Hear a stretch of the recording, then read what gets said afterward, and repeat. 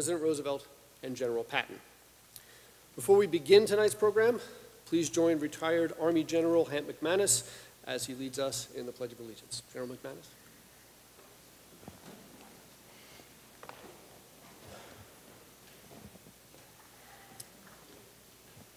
I pledge allegiance to the flag of the United States of America and to the republic for which it stands, one nation, under God, indivisible, with liberty and justice for all.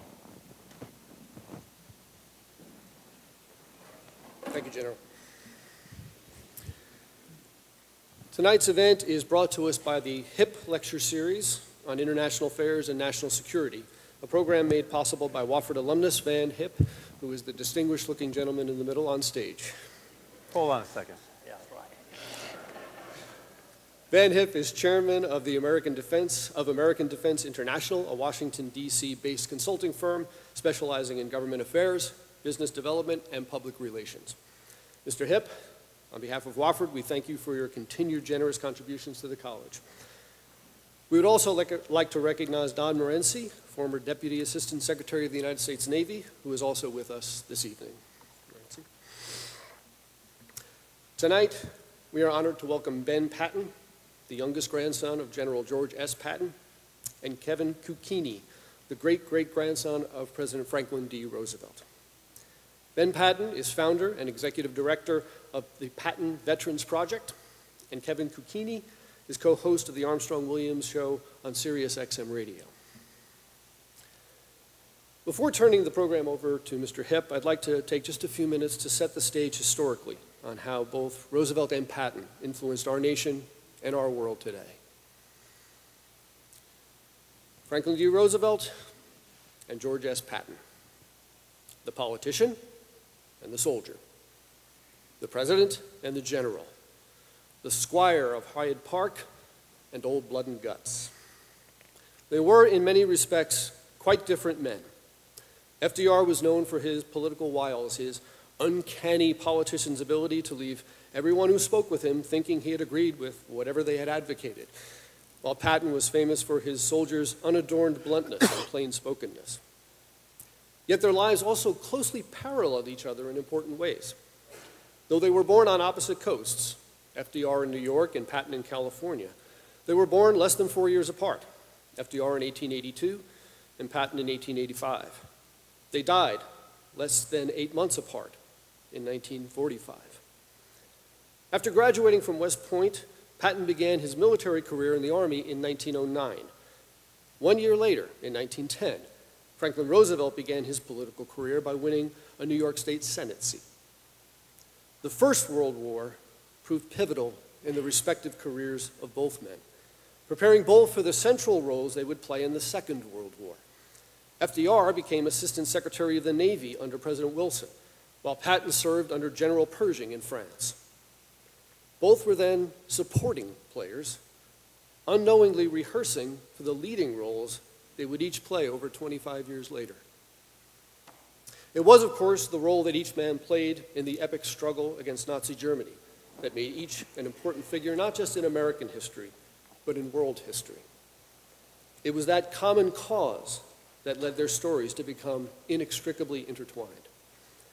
Once the United States became directly involved in the war against Germany, FDR was intent that American troops take the offensive against the Nazis before the end of 1942, and it was Patton who would lead the first major U.S. offensive, Operation Torch, in North Africa. When FDR met with Churchill at Casablanca in 1943, Patton was in charge of his security, and the two met there for the first time. Patton, of course, did his job willingly and well, but he also told the president's doctor, quote, I hope you'll hurry up and get the hell out of here. The Germans occupied this place for two years, and their bombers know how to hit it. They were around 10 days ago, and it's a cinch they'll be back. Despite their different styles, they seem to have admired each other. FDR reveled in Patton's blunt talk. After reading a report from Patton, FDR remarked to an aide, Patton is a joy. And he also said Patton was, quote, America's greatest fighting general. After meeting the president, Patton wrote in his diary that FDR, quote, really appeared as a great statesman. And a biographer writes that FDR's death in April 1945, quote, distressed Patton greatly. Each man excelled at his given role. FDR is generally considered a political genius and regularly is rated by historians as one of the greatest presidents, behind just Washington and Lincoln. Patton had, as the title of one biography says, a genius for war, and he has been called, quote, the premier tactician of mobile warfare. Their joint cause, the defeat of Nazi Germany, made possible the post-war world in which we still live, and made possible the general European peace that has thus far lasted nearly 73 years. In many ways, the world we live in is a world that Roosevelt and Patton helped to make. Which brings us finally to tonight's event. One of the challenges I find in, in teaching history is convincing the young that our connections to what seems to be a distant past is not only real and relevant, but not all that distant. One of the ways we can make that connection is through the idea of family. Each of our guests tonight, even as he pursues a unique individual path in his own life, making contributions distinct from those of his forebear, is a living connection to this epical history. In my Western Civilization class recently, I was talking about the First World War, now nearly a full century in the past. That seems like a long time ago, I admitted to my students. But it's closer than we think. I showed them this medal. It belonged to my grandfather, and it's for his participation in the Somme offensive in France in 1918. I knew this man growing up, and he was there. When I was preparing for this evening, I discovered that I shared a kind of connection like this with one of our guests. George Patton saw his first combat in Mexico under Pershing in 1916. This is my grandfather's medal for his participation in that same action. My grandfather, Tom Burns, was there with Patton. So, Mr. Patton, our grandfathers were both there. And tonight, we're both here. Cool. Tonight, we have the great opportunity to hear from these two men, to remember how closely we are connected to our common past, and to learn how they are making their own marks in our world today. So, without much further ado, I will turn the evening over to them and Van Hipp. Thank you very much. Great. Thank you. That was great, Dr. Burns, and really set the stage for tonight. And as some of y'all know here at Wofford, uh, my favorite job in the world is, this, is being the sideline reporter for Wofford football. And y'all got to tell Richard Johnson, I like the sound system y'all got tonight a whole lot better than the one he gives me uh, for, for the Wofford football team. But it's great to be with you tonight. And one, we, have, we have so many uh, good folks here, and I want to ask all the veterans, those who have served our country, all services, to please stand and be recognized tonight.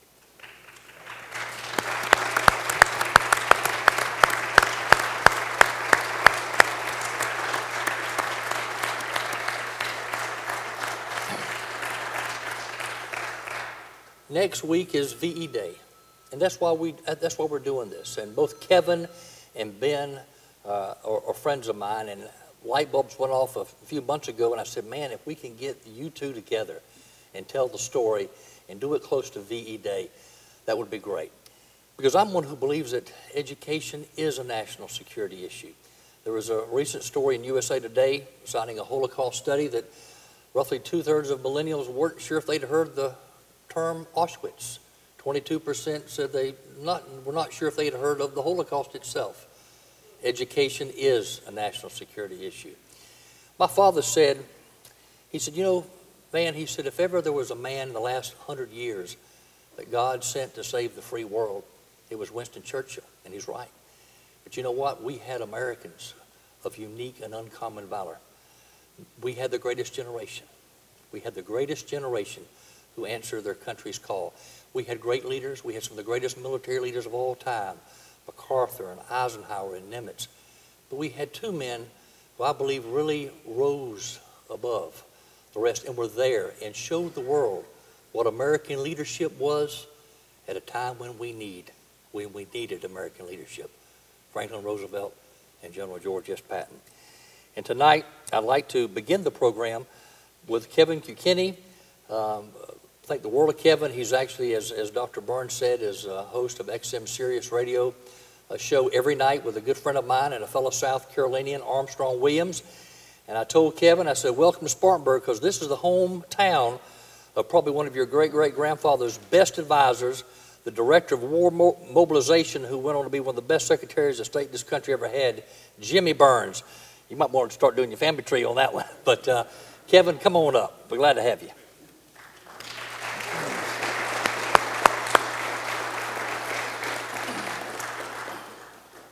Everyone. Well, this is my first time in South Carolina, so I'm very excited to be here, and I'm very, uh, very impressed with the campus. It's very beautiful. Um, so let me let me talk about my family a little bit. Um, so I am the great great grandson of Franklin and Eleanor Roosevelt, and I am also the grandson, a great grandson of Jimmy Roosevelt, who was his eldest son. Um, and I'm also the grandson of Franklin Thomas and Kate Whitney. And Frank Thomas is the first African American president of the Ford Foundation. Um, and he served that for uh, over 20 years, actually. Um, and was very involved with PBS and um, bringing certain programs uh, to the public. But, uh, you know, just to go over a brief uh, history of FDR, um, he was born in Hyde Park, which I'm sure everyone knows. Um, and sort of uh, just to give a little background, so there's, there's really two branches of the Roosevelt family. And so they originally came from, um, you know, the Netherlands, and they settled in New Amsterdam. And so there's the Oyster Bay Roosevelts. And so it, it was really based off, most of them are based out of New York, but then they had two summer homes. There was the Oyster Bay uh, summer home, and then there was the Hyde Park summer home. And so that, that was the split in the family. So Theodore Roosevelt came from the Oyster Bay side, and then um, FDR came from the Hyde Park side. And so Eleanor Roosevelt is the um, niece of Teddy Roosevelt.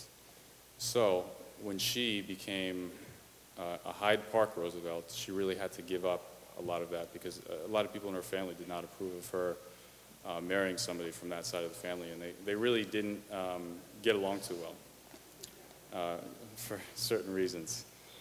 Um, but he, uh, he had a, a wonderful career. Um, he was elected to uh, New York State Senate um, in 1910. Um, well, he studied at Groton for his uh, for prep school.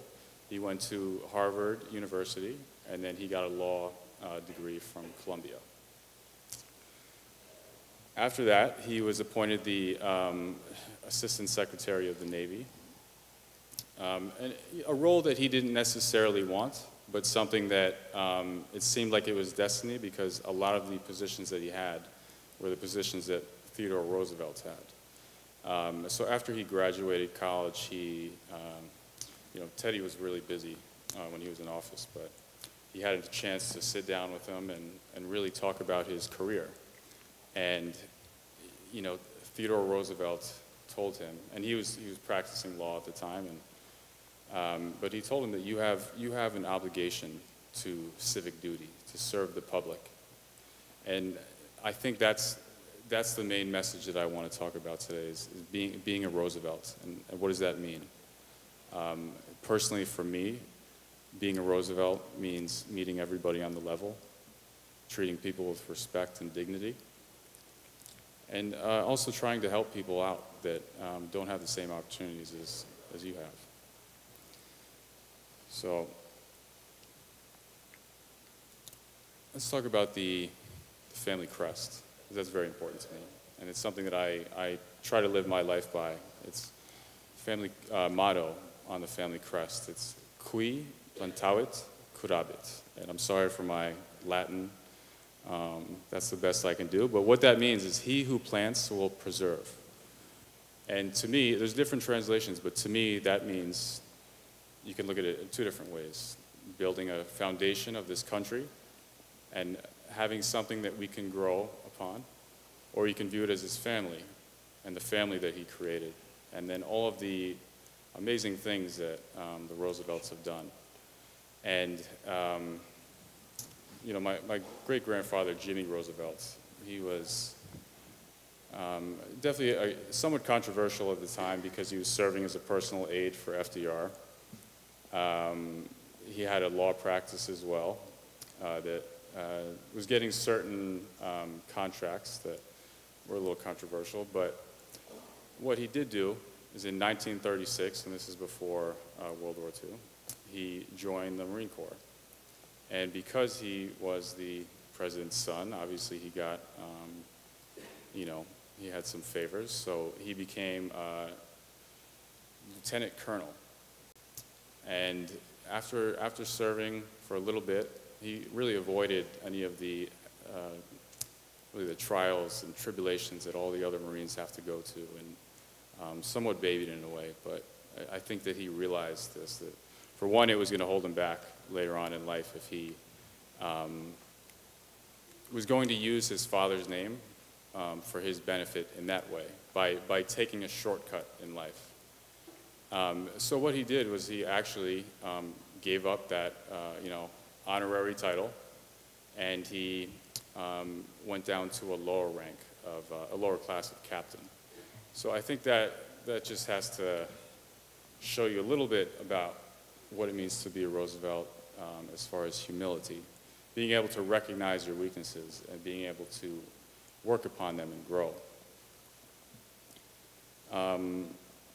You know, it's, it's interesting. My, my grandfather, um, his name is Franklin, and he was named after Franklin Delano Roosevelt.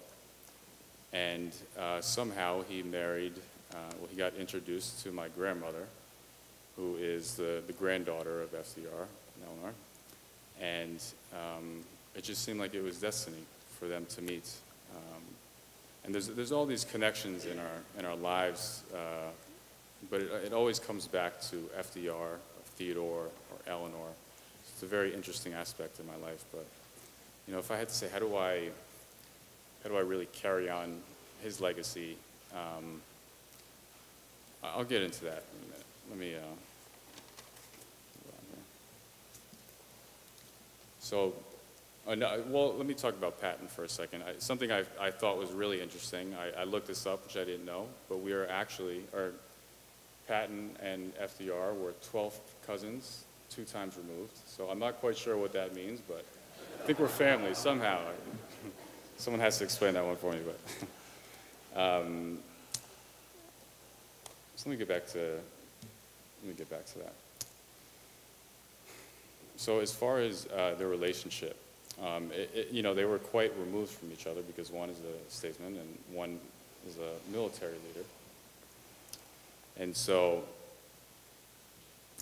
excuse me, uh, one was a military leader, but they really had uh, great things to say about each other. Um? Yeah, this is a, I have to quote this one, I can't remember this one, but this is um, a conversation uh, with the press that FDR had. Um, Mr. President, is there anything you can tell us about General Patton? And this is FDR speaking. No, I saw him in Sicily. I saw him and General Clark and General Eisenhower went over with me. I think probably that you may, if you want to write a piece, stick in there the story of a former president who had a good deal of trouble in finding a successful commander for the armies of the United States. And one of them turned up one day, and he was very successful. And some very good citizens went to the president and protested, you can't keep him. He drinks. It must be a good brand of liquor, was the answer. and that was actually Lincoln who said that. Um, so he was quoting Lincoln. But uh, what he said, and this was uh, after a lot of controversy with Patton. And, um, there was uh, an incident where he slapped one of his soldiers, and um, press really jumped on it. And um, it was it was a difficult situation for Franklin to be in because he had to pick a side. It's am I going to go with the crowd here, or am I going to go with my man, the guy that I want to be on the battlefield, that I believe in, this dashing, uh, charismatic leader. Um, and so he stuck he stuck with his guy, and I think that's very important. Just the loyalty. Um, you know, sometimes, especially in politics, sometimes you have to separate yourself from somebody, but I feel like Franklin did a very good job of trying not to do that and um, being loyal. Um, You know what, uh, after Yara said uh, about Patton, well, he was talking about General Montgomery, but he said, Monty never starts until he's got all the guns and all the men he needs. And Patton is just the opposite. He's reckless, quick. I think it works out well to have one cautious and one reckless fellow operating on the same objective.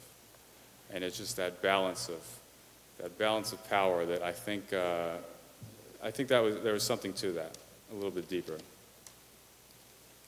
me get back to the front. So let me talk about myself a little bit, um, explain my family history. Um, so, you know, right now I, I'm on Sirius XM, and, you know, people ask me, especially today, I've, I've had to do quite a few uh, interviews, and I, people kept asking me, what, what does it mean to be a Roosevelt? What is it, how do you carry on the legacy? Um, it's a difficult question to ask, and I don't think I can personally fill those shoes. But I think it's a standard that was set. Um, he raised the bar to a certain level, and um, I think the majority of his family tried to follow in his footsteps. And you can argue whether or not they were successful, but that leads me to Jimmy Roosevelt. Um, and Jimmy Roosevelt was his, you know, aide. Um, but the thing about it is that if you ever watch any of the um, speeches that he gives, it's either going to be Jimmy Roosevelt, who's assisting him because he couldn't support himself um, when he was walking, or it would be one of his other sons, either Elliot or FDR Jr. Um, but this was just sort of a symbolic um, gesture to me, having your son stand next to you, supporting you. Um, because to, to go back to his polio, um, he got polio when he was 39 years old, and this is already after he's had a pretty successful career. So just imagine waking up one day and everything's fine, and you're on vacation, you're swimming, and then um, you have difficult, you're feeling very sick, and you just decide to go to bed, and you wake up and you can't feel your legs. Um, it's, it's difficult to put yourself in that position if, if you've never experienced um, disease or disability.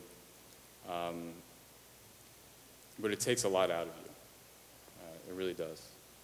And it can really destroy a person if they're not able to handle it.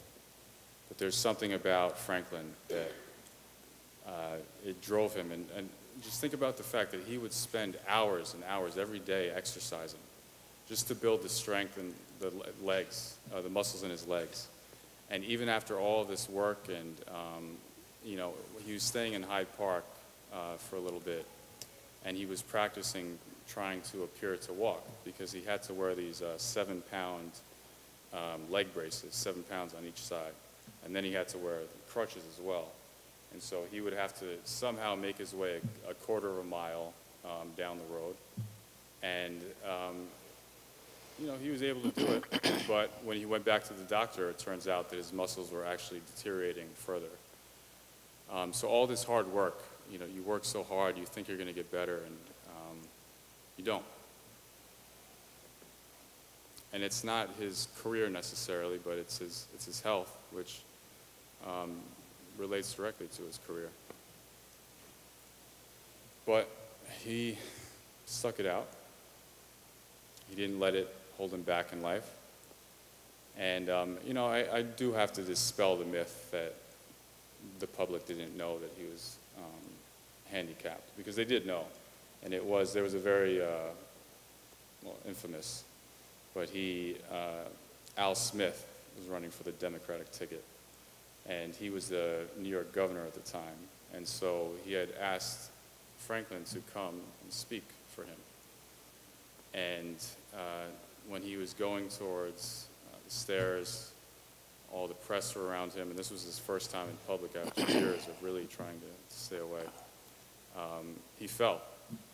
Fell pretty hard and very loud and probably very embarrassing, but um, he got up and he laughed, just laughed it off, and um, made, made the speech um, eventually, and uh, Al Smith encouraged him to run for New York governor, which he did, uh, following in his, uh, well, Teddy's footsteps, his fifth cousin.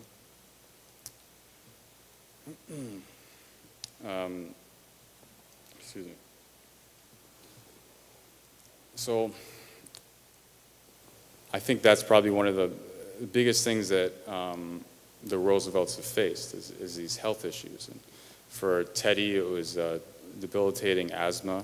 For FDR, it was polio. But they have these, uh, it almost seems like there's an equilibrium. There's a balance to the universe. People that are blessed with all these great privileges in life, uh, money, connections, it seems like they have to have something taken away from them if, if they want to be successful.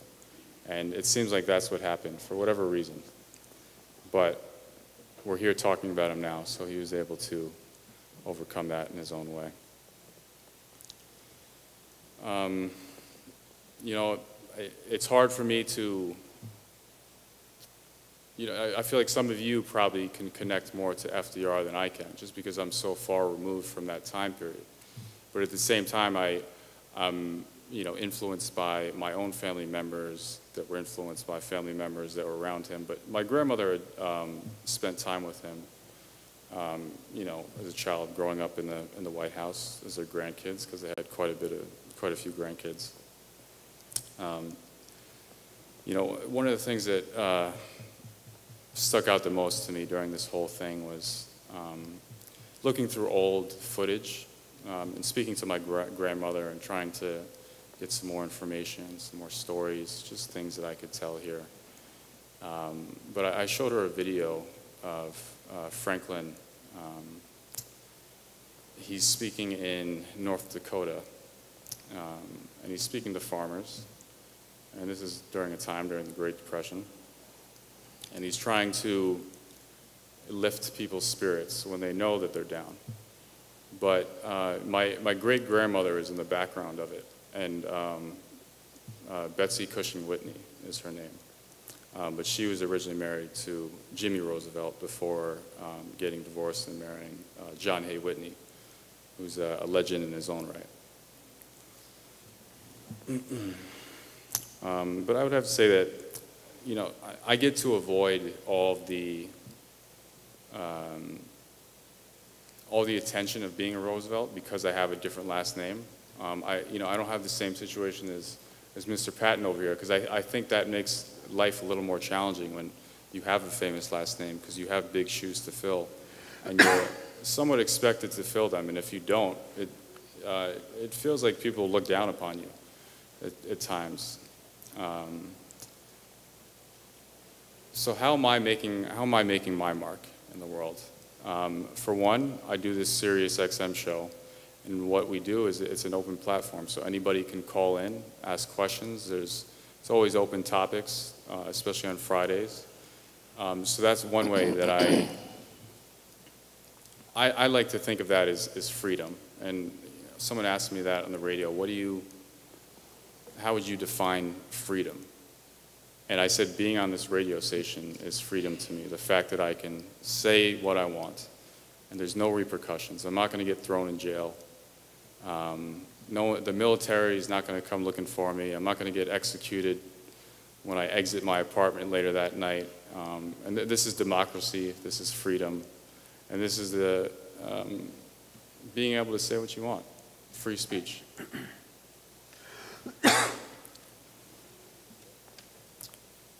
I don't know how long I've been going on here, but I can cover FDR's career, but I, I feel like most of you um, know quite a bit about him. So, um, you know, just to, to wrap it up a little bit, I think that if FDR were alive today, which I think probably people will ask me, or they already have asked me that, is he would view uh, how, how he would view the world.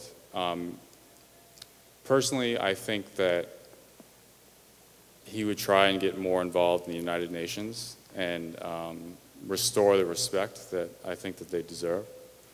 Um, but that was really his baby, and um, unfortunately didn't get to see it um, carried through. But um, I think that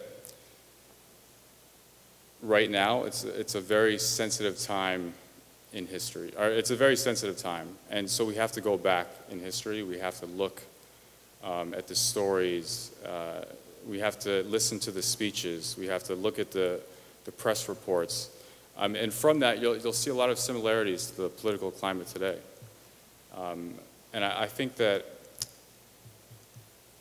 uh, you know, I think that if he were alive, he would be working on trying to bring people together um, and, and really focus on his dream of globalization, open borders, people being able to move in and out of their countries freely, freedom of press.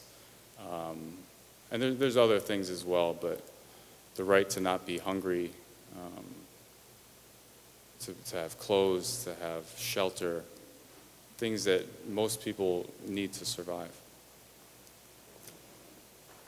Um, yeah. I think in the future, what I personally can do is, you know, I can't follow in his footsteps exactly, but what I can do is follow his example. And I think that's what everybody can do here. They can follow the examples that he set, um, the relationships that he had with people, the way he spoke to people. Um, and it was never in a demeaning manner. It was always very direct. Um, he liked to compliment people, but he also would call people out. Um, you know, he had a very close relationship with Stalin, Churchill, uh, Chiang Kai-shek, China. Um, and so, you know, you have to think about what was going on at the time, and uh, people were being killed, and it wasn't just the Holocaust. Wasn't just uh, in Germany. There were people in the Philippines, the Bataan Death March. There was uh, Nanking. There was Manchuria. All these different places where um, really millions of people died. So I think FDR had a responsibility to act and to use his powers. And, um, and at times he may have overstepped them, and he, he um, really pushed a lot of buttons. But I think it was necessary for him to do what he needed to do. And I think that's why we still talk about him today, and that's why his legacy lasts, is that he, he pushed the buttons. He uh, really tried to push the limit and see what he could get away with uh, within, within the court system. Um, and, you know, that's, that's very, uh, it sounds somewhat hypocritical, but at the same time, it's, it's trying to get things done. And even if um, it doesn't seem like there's a, a solution, there always is. There's always a way to find a solution to make things work out. Um, and I, I think I'd like to finish there.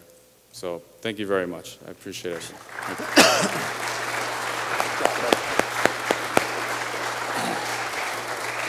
Thank you. Thank you, Kevin. And uh, one person I failed to uh, recognize, I want to thank. If you noticed out front, there should be a 1942 Willys Jeep that flew with the 101st Airborne Division on a glider, was on the beach at Normandy. I want to thank my good friend Gay Suber and Veterans Group he's with down in Columbia for, for bringing that with us today. Thanks, Gay. And Ben Patton is somebody I've known for some time and, and have, have, have had a lot of respect for. Uh, but before I, I, I turn over to Ben, I also knew Ben's uh, late father, whose name was also General George S. Patton. Is this the story? This is the story. He, I've never told this, but I'm going to tell a story about your dad tonight and me that I've never told him before. He said, all right, so here it goes.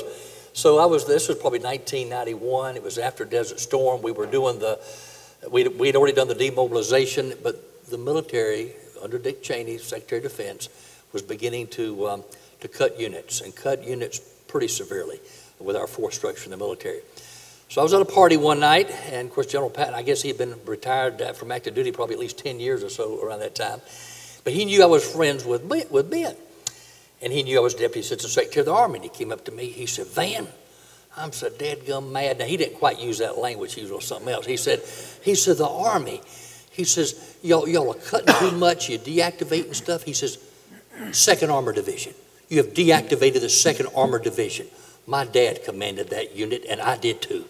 And then I said, I'm sorry, General. He says, the 11th Cavalry Regiment. My dad commanded that uh, regiment, and I did too. So finally, I got out of there. So next morning, I said, uh, Should I or shouldn't I? I took out my little stationery, Deputy Assistant Secretary of the Army, and wrote a little note to General Patton. General Patton, it sure was good to see you last night. Are there any other units that both you and your dad commanded so we can be sure and deactivate those two? About a month or two later, I saw him. I'm not going to tell you what he, what he said to me, but it was, but it was colorful. But I want to introduce Ben. And uh, one thing about the Patton family, they, they, they love the military, they love the veterans, but they understand it goes beyond that and to take care of our veterans.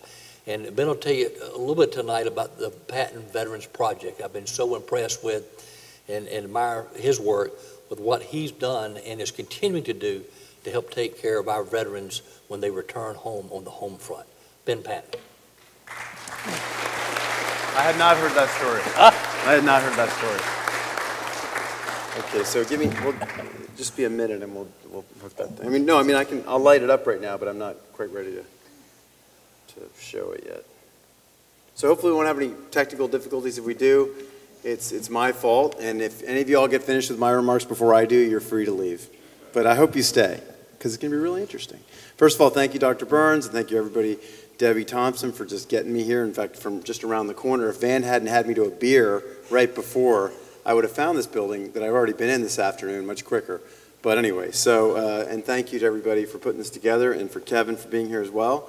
And um, so, the Pattons pushed the envelope a little too, my grandfather did, but unfortunately he wasn't president, so he got fired two or three times as a result of pushing the envelope. So, but what I, what I want to try to do today is, and I have the same challenge that Kevin does, is that we didn't know our famous forebears. I mean, I didn't know my grandfather. But I have one thing that I can say is that I knew another General Patton, who's the one that Van was referring to, and he had two stars on his shoulders, and he was kind of a tough character, and, and people don't realize because he didn't fight in wars that we remember uh, individuals from so much, except in negative contexts often. But um, he uh, had one tour in, in, Korea and one tour in, in Vietnam, uh, three tours in Vietnam, um, commanding the 11th Armored Cavalry Regiment was one of them. And, and I'll just say I was really impressed with my own father when I looked up at his commendations and saw that over one six-week period he earned two Distinguished Service Crosses, a Silver Star, and a Purple Heart, which are two and three uh, on the uh,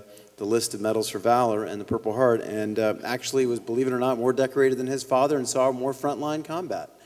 So he was kind of my hero, and I, I, my, my grandfather's up there, and my father both are pleased that we're talking about them. Um, but, uh, but I will say that my dad had a lot of qualities of his father, and I wanted to talk a little about both of them to give you a sense, I guess, sort of by, I don't know, I'm, I'm, I want to sort of help you understand a little bit about my grandfather through my understanding of my father. So we'll try that, see if it works. And like I said, you can, you can take off if you don't find it very interesting. But um, and some, at some point, I'm going to find a way to work in intimat, intimani, intimanatus fulget. I'm going to work that into my talk at some point. But I haven't figured it out yet. So, so I want to give you a little bit of a comparison between these two guys. And I'm going to use the movie to help me do it. Anyone see the movie Patton here? so, well, so I'm going to try and use Hollywood to help me compare them a little bit. So in the motion picture Patton, which of course I commend to you, probably the first movie I ever saw. I don't think I don't think I was 13 when I saw. I think I was five actually. Um, but um, so in the in the in there's a, there's a wonderful scene in the movie Patton. It's kind of a perhaps somewhat fictionalized scene, but I think it rings true. Where the middle of the Battle of the Bulge, uh, Patton George C. Scott's Patton is in his uh, in his uh, headquarters in the Ardennes, and, um, and he gets bad news about weather, hated bad weather, had a lot of it, and, he, and this consequent poor air cover, and that they would have to delay an attack. And so he looked around, looks around at the, at the room with a, 100 people in it, his whole staff, and he says, We're going to attack all night, we're going to attack in the morning, we're, and if we're not victorious, let no man come back alive. And his aide, Lieutenant Charles Codman at the time, leans over to him in the movie and says, You know something, General? He says, Sometimes the men can't tell when you're acting and when you're not. And then Patton turns back to him in his classic response and says, Codman, it's not important for them to know, it's only important for me to know. So now we go from Hollywood, and I would say that's many versions of that exchange, I'm sure, happen. So now we go to a, a, book. Actually, I wrote a book about my father because, again, he's my one of my he's one of my great heroes. He's certainly in my small, small pantheon of heroes. And he commanded the armor school in uh, early 1970s in Fort Knox, Kentucky. And I wrote a chapter in my book called Growing Up Patton, came out about five years ago. Um, and one section was on his spiritual influences. So I had, uh, I did a section on each of his favorite chaplains. I, basically, the book, my father died in 2004 as a result of Parkinson's, and just, just having lived, you know, life at full speed for 80 years and being a little bit accident prone and uh, not knowing much about slowing down.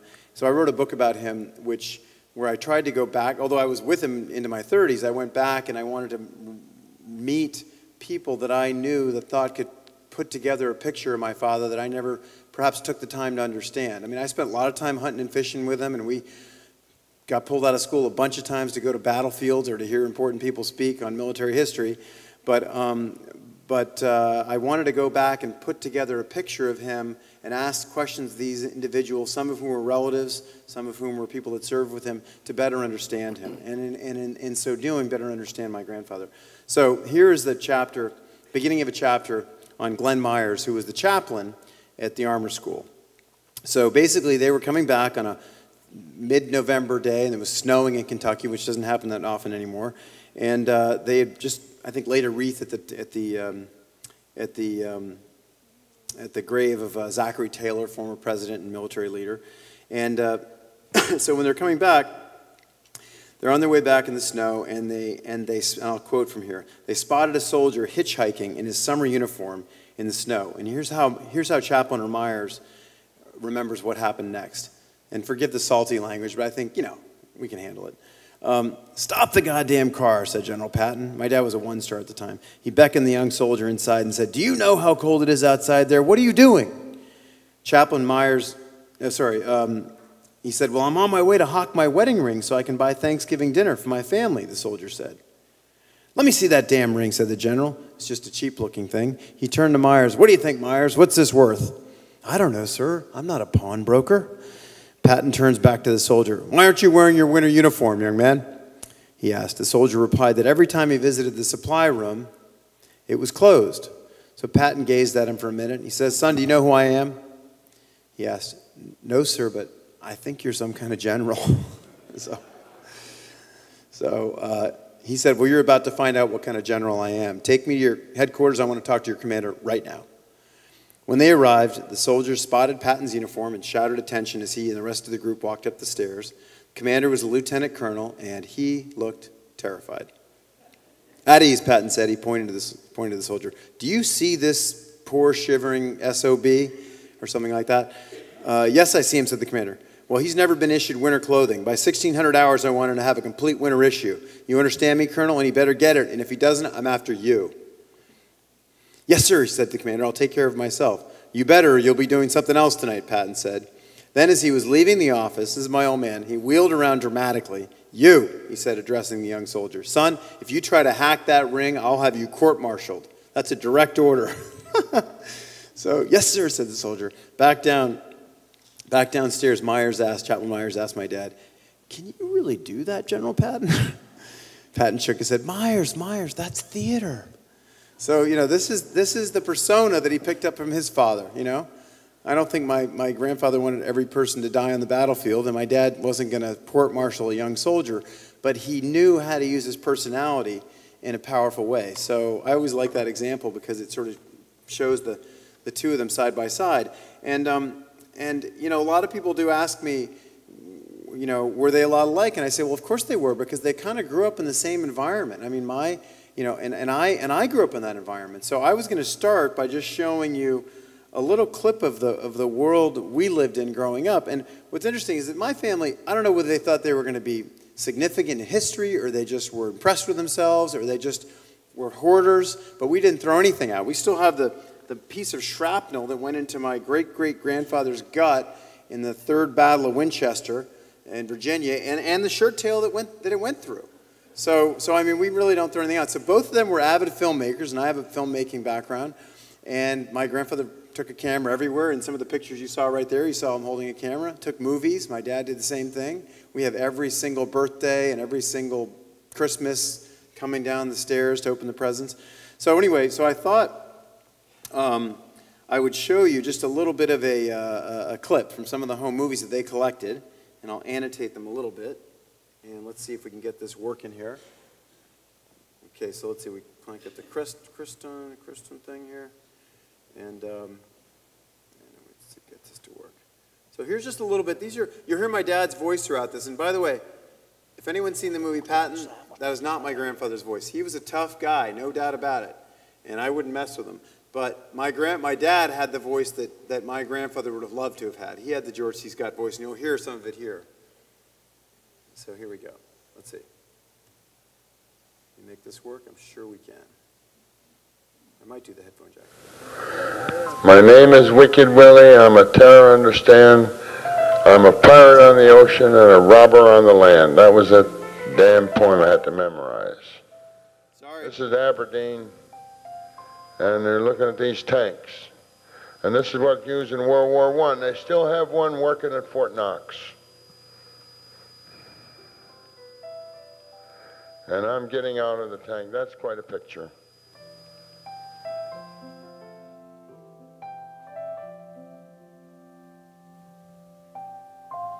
We're good. A little rough, the footage, but this is, uh, these are French Renault tanks.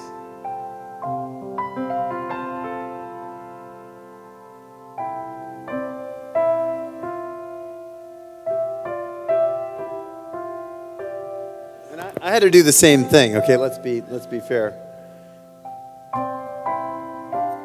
Yeah, I always find this very interesting because we can get into another, no, another day we can talk about, about the Normandy landings, but my grandfather sailed across the Pacific in the 1930s and back, and he must have been, and he'd done, you know, amphibious landings in North Africa and multiple amphibious landings in Sicily, and he must have been very upset at himself for slapping a soldier that led him to lose command of the invasion of Normandy because he knew more about the ocean than almost everyone in the Navy.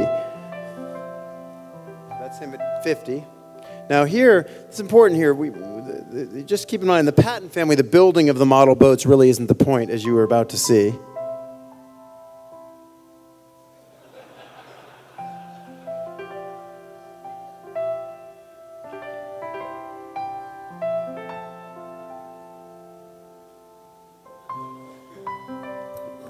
We did that too.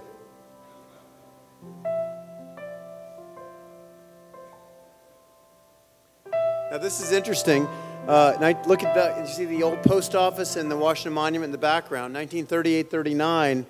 You know, when the when the Germans are thinking about annexing Austria and invading Poland, we're, the Americans didn't even have a tank unit. My grandfather was commanding in the old in the uh, in the uh, Third Infantry, you know, regiment there in in um, in you know the old guard, I guess it was in Washington, in horse cavalry. And a year, you know, I mean, this is just crazy. And a year before that, he's in Fort Riley, Kansas, looking like George Custer. So, but here he made chainmail and uh, for a Halloween party, and she came as Guinevere, and he came as King Arthur. So, just shows you what they were up to. But anyway, it gives you a little taste of what I dealt with as a kid, and uh, we had a lot of fun, no doubt about it. But um, anyway, but I, but I, I love to sort of root for my father because you have to consider some of the facts here. I, I put, I put the, the, the, history students to the test today. I wouldn't say they passed with flying colors, but I'm, I'm going to happily come back. You know, they're not done with their year yet, so you know, you got to test them hard, Dr. Burns, right? But, uh, but anyway, so think about the timeline. 19, my dad was fortunate enough to be able to go away to boarding school, and it was a wonderful thing for all of us in my family because it helped with getting a more consistent education. If you could afford it, you know, you didn't have to, because we moved in multiple times in the middle of the year. And when I got to about ninth or 10th grade, it was a little messed up, as good of a time as I was having, because uh, we were moving oftentimes in, in October or February from Germany to Texas and all that kind of stuff. So, but my father went away to boarding school. Then my grandfather got wrapped up in the beginnings of the war.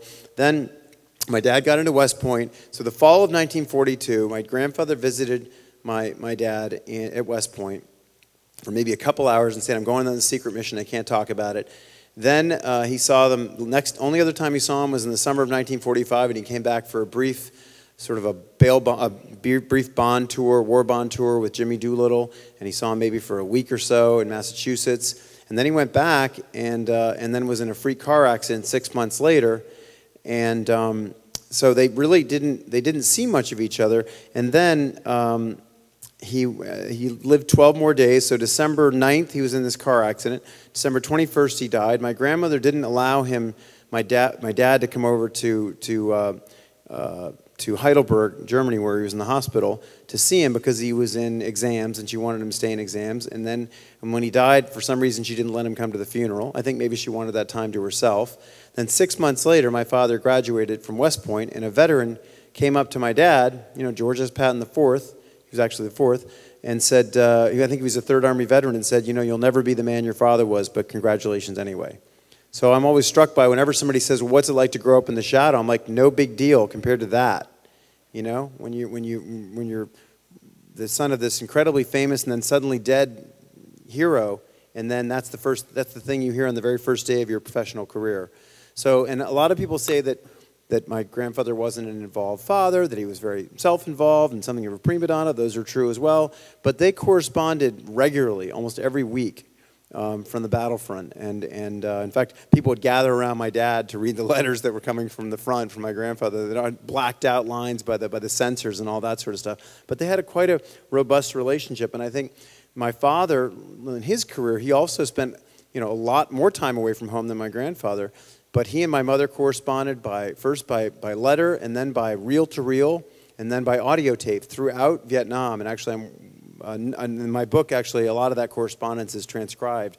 But it's just an incredibly robust collection of, of these wonderful um, uh, musings back and forth. And you know, you can hear the Hueys in the background. My dad's sitting in his tent in the middle of the night. My mom has us talking on the microphone. It was quite something. But they were a lot, and they were uh, similar in a lot of ways. I mean, they they were, my father always used to tell me, and again, this is me trying to talk about my grandfather, who I know is the subject, one of the subjects tonight, but I can't really do that in an authentic way without talking about my father. So that's why I talk about my father. But they, my father used to tell me that there were two kinds of leaders persuasive leaders and obtrusive leaders. And, um, and persuasive leaders may have been like Lee or perhaps Bradley. Um, I don't know about FDR. I'd say he's somewhere in between. Churchill was more of an obtrusive leader. MacArthur, Halsey, Napoleon. Uh, and I think we know which one my grandfather was, and you can guess which one my father was too. Um, they were both led from the front. They, they used persona in a very strong way. Um, they both got in harm's way quite a bit, uh, but, not, but not by accident. Yes, my father was, was widely decorated, you know, multiple uh, medals for valor, but, but it's because he put himself he learned from his father to put himself at the critical point in a battle to move the ball forward. If you, even if you look in the movie Patton or any photographs of my grandfather or video of him, you never see him going backwards. And whether he was afraid or not, and of course he had to go back at night to get back to eat his dinner, but, but he would go back by plane or something like that. But he was never seen on the ground going backwards. He was always moving forward in his command car because he wanted them to see him with his stars on and in full regalia. And my father was the same way. He called it visible personality, inserting yourself in a critical point in a battle when you can move the ball forward. And I got to experience that as a little kid in a peacetime situation when he was commander of the 2nd Armor Division.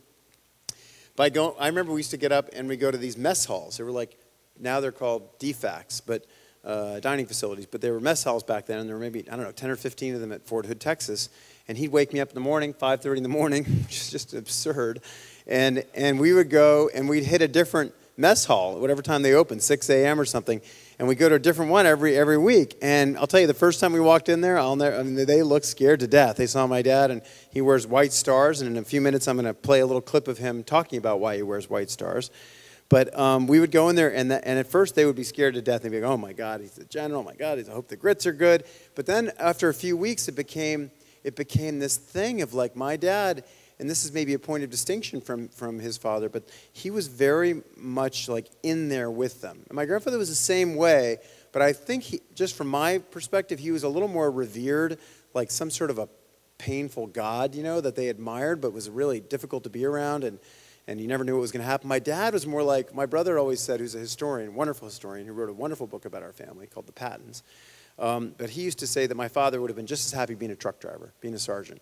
We used to go hunting and fishing with these guys on the weekends, many of whom I interviewed, and they could be generals or they could be privates. All, if they could shoot, they were going with us. If they could fish, they're going fishing with us. Didn't really matter what rank they were, what color they were, anything else. And it was just great about my dad. And um, so I, the, the thing I want to show you, and again, I try to do this in the context of, um, of trying to explain to you my understanding of the great General Patton. through my father, is I want to show you a clip about this guy who wakes up to his, you know, his father's gone when he's just turned, uh, see, 22, you know, three days out. His birthday was on December 24th, and his dad died on the 21st. So three days before his 22nd birthday, loses his father, doesn't get to be with him at graduation, doesn't get to share any successes in his career with him. And he also constantly has to be introduced as General Patton's son, which my father patently refused to do. He always said, Don't introduce me as Patton's son. Of course, it's difficult when your name is General George S. Patton. But, you know, but anyway, I want to share with you a little clip, which I'll cue up here. So I just think this is great. My mother said it's her favorite interview with my father. Um, and I've showed it to a couple people today. But it just, I think you'll appreciate it. It just shows you, let's see, forgive the technical issues at my end, but It just shows you, or what I think it shows, is how this is a guy 30, let's say 30 years into his career, let's say 31 years into his career. He's commander of the 2nd Armored Division, he, um, which is the same division his father had commanded just before World War II. And he's a guy that's like confident. I don't think this is a guy who's saying, I'm this famous guy's son. This is a guy who is, who is, who's saying, I'm George Patton, goddammit. Pay attention. So take a look at this, and this sort of unsuspecting female reporter asks him a particular question, and I think you'll like how my father answers it. Why do you wear Oops, sorry. white stars instead of camouflage stars? Two reasons. I'm glad you asked. Hold on. Let's try that again. Why do you wear white stars instead of camouflage stars? Two reasons. I'm glad you asked that. First, so that there's no problem with anyone recognizing who I am, and that if I don't get the proper salute after I give the proper salute, I've got a case where I can stop the Jeep and take corrective action. Second, to give the enemy a target to shoot at. In other words, to, uh, if it goes, you know, if we have a war, to flaunt myself in front of them and give them a target. Now that shocks me. I, I'm sure it would. Did you intend it to? No? I just Why would you believe uh, generals should be seen. But, but you're serious about giving the enemy a target? Yes, that's right. I don't believe that we have certain people around here that that won't wear their insignia in the field, and uh, not in this division. Although I did run into one the other day, who now wears his insignia. But uh, I believe in uh, letting them know I'm around. Is your life not more valuable than all of that? I suppose it's valuable. I rather like I'm enjoying it, and we're a long time dead. But I happen to believe that I should set the example and be seen. I should not only be seen by the frontline soldier, but I, if I show the enemy these stars, that means that shows them that I have a certain disdain for their accuracy of fire, whoever they are, and I in fact do retain that disdain. You're not. I don't think they're nine feet tall. You're not um, going against Army regulation in wearing the white stars. I'm sure I am. You know who that is? But there are other people who wear funny things with their uniforms too that also go against regulation. Suffice it to say, no one has ever spoken to me about this. Suffice it to say. And I'll continue to wear them until I'm ordered to take them off. Right. Does that does that look like a guy who thinks he's anybody's son? He, that, my dad was just, you know. So anyway, so I, I don't want to take. I know we're sort of over time here, but I just want to close with a few thoughts. um, I mean, these two guys are very similar. They both cared deeply about their soldiers. They both visited military hospitals a lot. Neither one of them particularly liked to do it because it kind of dented that persona. You know, you want to get that idea of moving forward. And when you see, you know, it's tough to see the soldiers, I think, for them, but they knew it was important and they did it. Obviously, my grandfather lashed out not once but twice. And amazingly, and nobody knows this but my dad and me and who are, you know, I mean, he was the only one that was there, was he had a similar institute in, in Korea where somebody left their post at a foxhole, middle of, in the middle of a firefight, and he went back and pulled a pistol on the guy, you know, and said, I'm going to have you tried for misbehavior before the enemy. And, you know, privately. And then, and then that guy, you know, I think he shipped him out the next day. Maybe not the right thing to do, but you can sort of understand their mentality.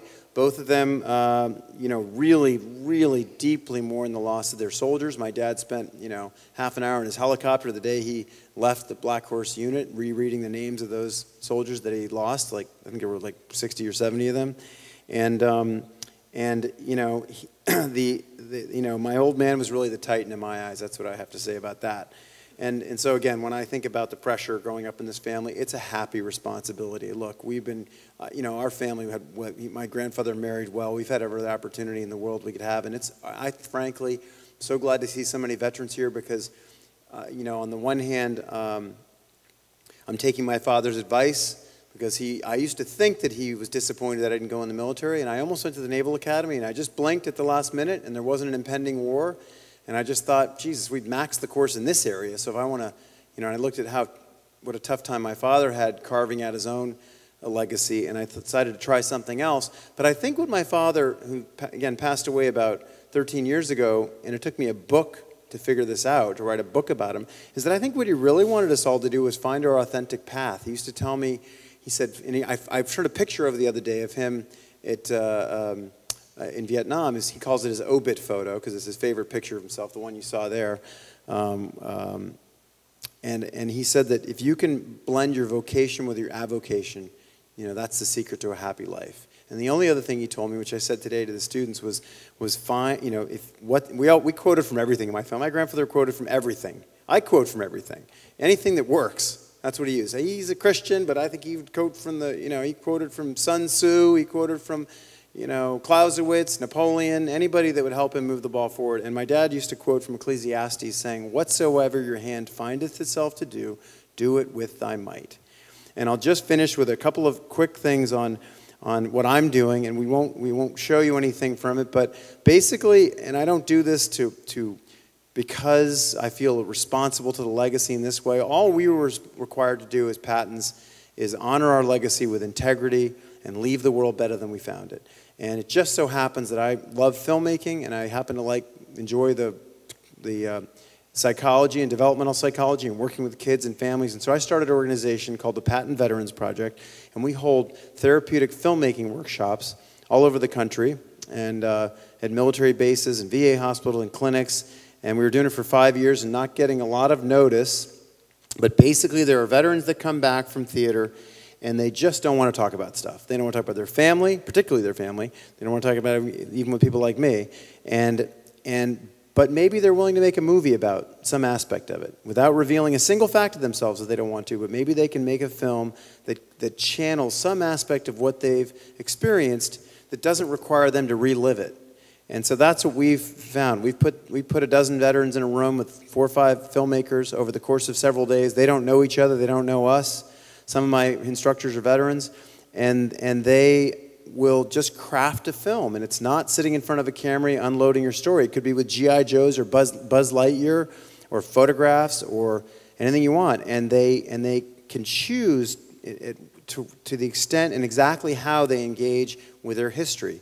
And because you're doing it two or three other people, it really can't be about your story only. So it allows you to broaden out and make something that you would say is more archetypal, more representative of something you've experienced sexual trauma, getting shot at, losing a leg, losing a friend, transitioning home, not having a job, all that kind of things. And we've made about 400 films at this point, worked with about 1,000 veterans.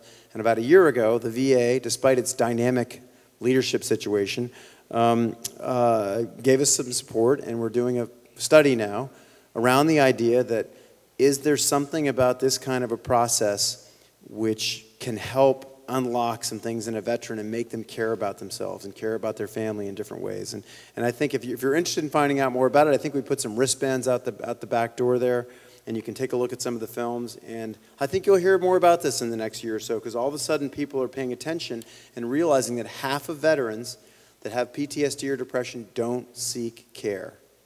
And a lot of those commit suicide. And the accurate number that I've heard now is about 20 a day and that's still a very, very high number. So I just want to say it's a, it's a great pleasure to be here. Um, I, you know, I, I think that, you know, I would like to, somebody asked us this earlier, and, and, and uh, just to say that I would like people to leave here with a better sense of history, with a better sense of the importance of history, so we don't repeat it all the time.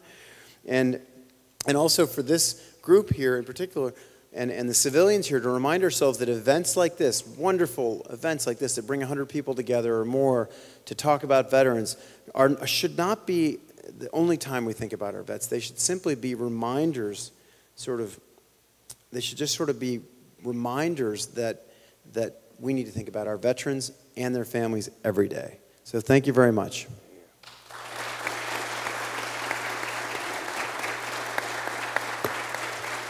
And I guess, yeah, yeah, go ahead. Sure. And we've got time, we're going to do a couple questions we've gotten from Wofford students, and then we're going to have a reception that everyone here is invited to, so you can spend time uh, with, with Ben and uh, with um, Kevin. But we've got uh, time for, for a couple questions, and we've gotten a lot that have come from the, um, the Wofford students. Ben, I want to start with you. One question is, um, you know, your grandfather was also, you know, he wrote poetry. I mean, the guy was a Renaissance man. And uh, one, one thing I was struck with was that, you know, your grandfather's big uh, nemesis, his big rival in North Africa, and in North Africa was uh, Field Marshal Erwin Rommel, but yet your father became friends with his son Manfred Rommel in Germany. It's a funny thing about chivalry. And I don't know if we have that anymore in, that, in the same way, but in those days, it's like you, you, you do your battle and then you finish and you go out and you know, break bread together. And, I, and, and so, yes, they were, their arch, they were arch nemesis in a certain sense. I think they always had a respect for each other. They never actually faced in battle, but their troops did. And then, interestingly, only died a year apart. You know, uh, Rommel was, was forced to commit suicide to save his family in the fall of 1944. My grandfather died a year later. But my dad had always wanted to meet Rommel. And my grandfather had always wanted to meet Rommel. Then, when he died, my uh, grandmother wanted to meet them. She didn't have an opportunity. Then, my father wanted to meet at least the widow. So, when he was stationed in the 50s, I guess around 1958 in, in Stuttgart, Germany, uh, that's where the Rommel family lived. Manfred Rommel, who was about 16 when his father was forced to commit suicide, and uh, he became a civil servant in Stuttgart. I don't know, has anyone ever heard of Manfred Rommel by any chance? Because he's a wonderful statesman. People say he could have been Chancellor of Germany anytime he wanted, but he always said that he said that the, the chancellors were more about being in, in, an opera house, and he said mayors had to get things done. He said they, you know, the opera house they wanted to, everybody wanted to hear have their voice be heard. But, but anyway, so they, they went over. My dad called up the house and said, I'd like to come over and set up, you know, he had some, set up a visit to come over and meet Mrs. Frau Rommel. Brought, and because he has a sense of history, he not only brought my mother, but he brought my then five year old oldest sister over to meet him. Ever since then, we were stationed two times in Stuttgart in my lifetime, and we would go and visit the Rommels always on Christmas Eve because not only did they become friends, but they both shared a birthday of Christmas Eve.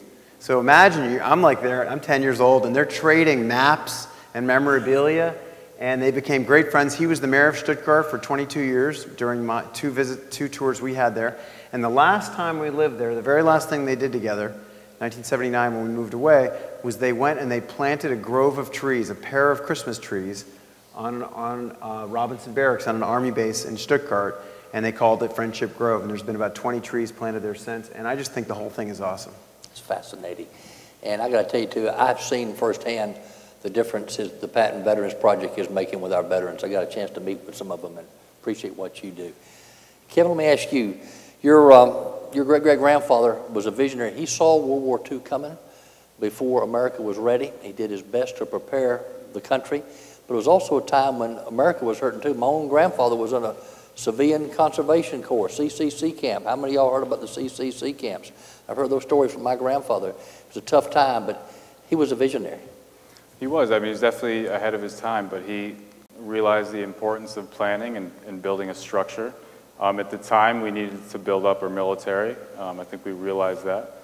Um, and, and that's something that he started to do. But as far as um, really the Great Depression, I think a lot of people were struggling. And so uh, he was the face of it. Um, luckily, he wasn't president, um, you know, during the uh, late 20s. So he got to avoid a lot of that. But um, you know, through all of his programs with the New Deal, uh, he was able to give a sense of hope to people. Um, And it takes time uh, when, when there's uh, economic difficulties, when people are struggling. Um, it's not going to change overnight. You're not going to get a check in the mail and, and things are going to be better. Um, it, you have to change the culture. You have to um, find where corruption is and, and stamp it out. But as far as the uh, being a visionary, he was way ahead of his time. Um, as far as planning the United Nations, um, realizing that uh, something needed to be done. There, there needed to be a change in the way that we handled diplomatic situations too. Question to both of you. What if, I mean, Roosevelt and Patton were both so critical to the war effort for this country and for uh, achieving victory when, like I said at the beginning, freedom was hanging by threads. What if Patton and Roosevelt had lived? How would a post-World uh, War II Europe have looked? What do you think, Ben? Well, you know, I've been thinking about this a lot today, actually. I mean, the first thing that, not to, I want to answer the question, but it struck me that both of them, I think they were both visionaries, certainly, certainly Roosevelt and my grandfather. My grandfather wrote a paper about how he thought the Japanese were going to, if he were Japanese, he would attack Pearl Harbor. That was written in 1934. And, you know, and he was, and he was commanding tanks in 1918, you know, 17. So 1918. But, um, but as far as that goes, people often ask, oh, we should have killed the, gotten the Russians and all that stuff. I don't think anybody really felt we were going to go attack the Russians. They were still pretty formidable, first of all, and they were angry too. But, but I am struck by the fact that, um, one, that they didn't, either, either one of them had a chance to, like Lincoln, to, to, to, to bask in the spoils of success of what they did. My grandfather died right after the war. In fact, he was fired for, you know, silly thing after the war, and he ended up losing his command. You know, it was after, we, we you know, he won his battles, but then he was sort of didn't, didn't work well in a civilian context. And likewise, and then six months, you know, a couple months later he died. And likewise, Franklin Roosevelt died in April of 1945, and so they didn't really get to appreciate it. In terms of how the world will look different, well, I think the big thing that I was thinking about today is at the famous Potsdam conference, you know, the end of the, the last of the Yalta conferences, was where they really, and I'm sure many of you know this history better than I do, especially you, Dr. Burns, but that they, they were deciding the breakup of Europe. And, and I'm kind of a Truman fan, actually, but, but the fact is, in, in July of, of, of uh, 1945, you had Truman, who really did not have a particularly close relationship with FDR, and then FDR died, died in April. I think they only met like twice. He knew nothing about the Manhattan Project and, and all that. And so you have him, and then you have um, Churchill, I don't know if you all remember this, but he was voted out of office in the middle of the conference. He had to leave because in Britain, when you get voted out, you have to leave that, you're done that day.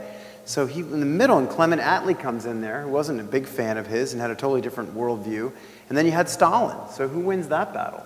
And I got to believe if, if, if, um, if Roosevelt had been around a bit longer and Churchill, I think he might have even been able to go over there and speak in the House of Commons or something. And Campaign for. Campaign for Churchill. But I just got to believe things would have been a little bit different. And um, don't get in, I won't get into the fact that taking all my grandfather's gasoline in the fall of 1944 and how that would have changed things.